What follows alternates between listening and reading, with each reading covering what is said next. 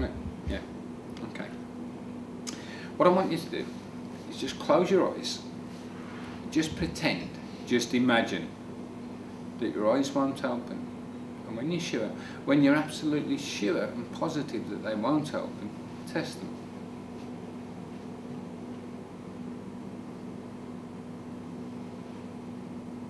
That's right. Now you can try really hard to open your eyes and you find that they're locked solid and they just won't open. You can just keep testing them. And allow that feeling to go from your eyes across your forehead, down the neck, down the back of your neck, down through your body, down through your legs and into the ground and just go into hypnosis. Go, go, go, go, go, go, go. Take a nice deep breath and relax. And deeper.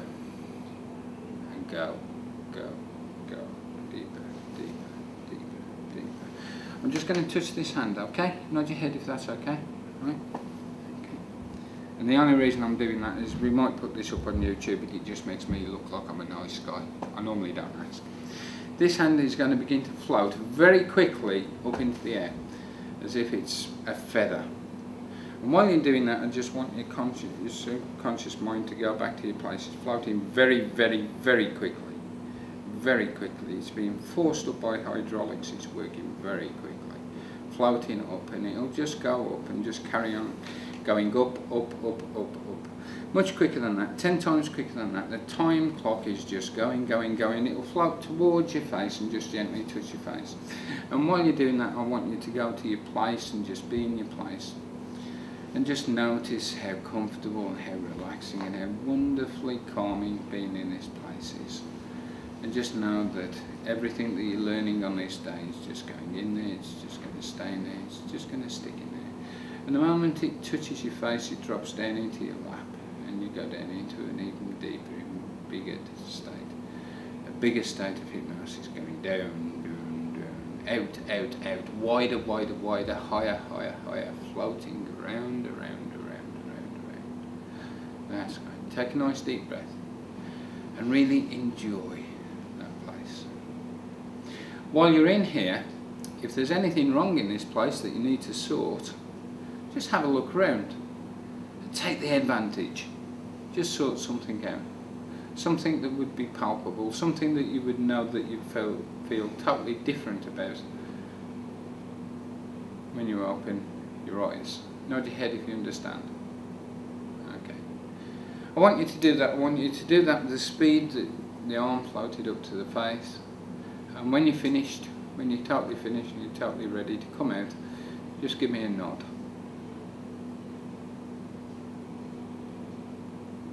Okay. One, you're feeling less relaxed. Two, every nerve, every muscle, every fibre of your body becoming fully awake and fully aware. Three, take a deep, deep breath, John, of cool, clear mountain air, filling your lungs with that energy-giving oxygen. Four, you can feel the cool, clear mountain water, washing the backs of your eyes, your nasal passages, your throat. Your head's clear, your nose is clear, your throat's clear. Your eyes are bright and shiny, and five, wide awake. Stretch.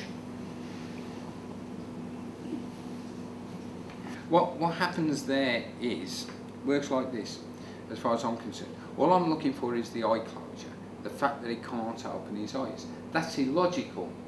Guess what? Your conscious mind doesn't do illogical stuff. Your subconscious mind does illogical stuff. As soon as he can't open his eyes, I know I've got his imagination. I know I've got hypnosis. But then I test it. I don't just say, right, you can't open your eyes. I say, now you can't open your eyes, test them. Try really hard. The harder you try, the more they, the more they lock. And, or whatever it is I said, I don't remember because I'm half hypnotised when I'm doing it anyway. But whatever it was I said, yeah, he had to try and open his eyes he couldn't, could you? They've gone. They were locked. Yeah? So now I know that I'm in control of his subconscious mind. That's hypnosis.